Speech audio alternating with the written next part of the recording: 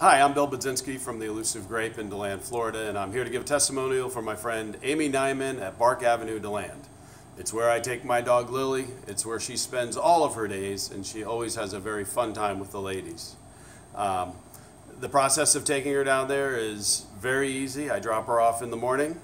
I pick her up at night. She plays all day. She comes home. She sleeps. We wake up. We repeat the process. I take her there Monday through Friday. Uh, she gets groomed every Thursday. Uh, they've been kind enough to post videos on YouTube for me, showing me showing Lily playing with her friends. Um, she's made a lot of friends there. I think your dogs will make friends there.